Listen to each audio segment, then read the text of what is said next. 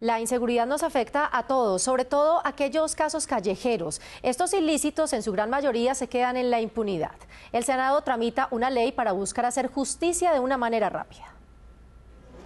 Esta ley busca que la justicia pueda agilizar los procesos penales de delitos menores como hurto, robo de celulares, lesiones personales, injuria, calumnia, inasistencia alimentaria y estafas menores a 105 millones de pesos. En muchas ocasiones eh, los procedimientos para robos de celulares, una cachucha, una bicicleta, se vuelven casi que imposibles de realizar por cuenta de que la cuantía del bien jurídico protegido es una cuantía mínima. Con la ley de pequeñas causas, los delitos menores se resolverán en seis meses y se pasará de cinco audiencias a solo dos. La primera audiencia tendrá la connotación de concentrada, donde se presentarán las pruebas y se imputarán los cargos, y en la segunda se dictará el fallo.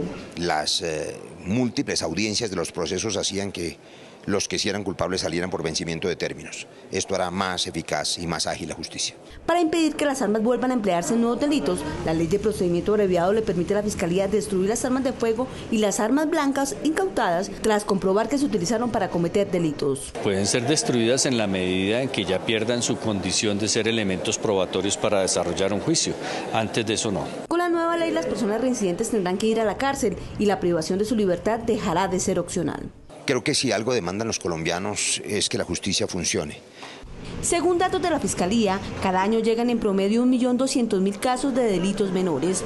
Se espera que con la ley de pequeñas causas se reduzca la impunidad la impunidad está en un 75% más o menos de las denuncias que se hacen. Esto sin contar que hay una cifra oscura que corresponde a las personas que siendo afectadas por una conducta delictiva prefieren no hacer la denuncia porque la consideran inocua o porque es demasiado dispendiosa. En total serán 63 conductas que serán tratadas como pequeñas causas.